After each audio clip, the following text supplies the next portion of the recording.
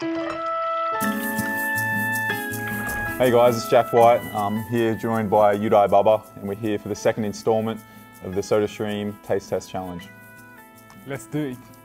There's going to be four rounds. The first two rounds are going to be just one flavour. The third round is going to be two SodaStream flavours combined into one, and then the fourth round is going to be mystery flavour. So we'll see how we go. I'm thirsty, man.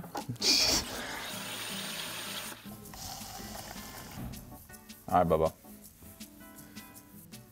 Round one. Okay. Okay, okay. It tastes like cola. Is that your final answer? No, I've, I've, I've drinking uh, kombucha cola before, and I just taste like similar to that. You think it's kombucha? Yep, Cola flavoured kombucha? yep. I'm going to give you half a point because it's just Pepsi.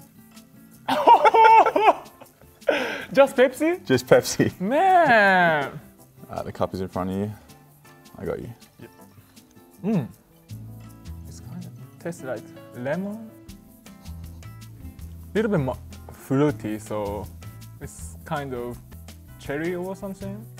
Cherry sparkling water something. Cherry, that's your final answer? Cherry? Yep. Bubba? It is 7 Up. Can you I- taste it now? I was gonna say yes, this is tastes like lemon. I, I say lemon, right? Tastes like We're gonna have to we're gonna have to go back over the footage to confirm that one, Bubba. it's kind of tastes like lemon. Quarter of a point. Okay. okay. Quarter of a point. Bubba, you'll receive one quarter of a point for this for this attempt. Round three worth two points. Three- Worth two points. This is huge. Two tastes, right? Two flavors. Yeah. Damn, taste almost. Is that a Pepsi and Seven Up? You think there's Pepsi in there? Yeah, Pepsi in there. Yeah. All right. That is correct. There is one part that is Pepsi. So you get one point. What's the other part? Give me a hint, please, Whitey. Mm. Orange. It is possible, It is a similar flavor, yes. but it is not. Well, technically, yes, it is orange.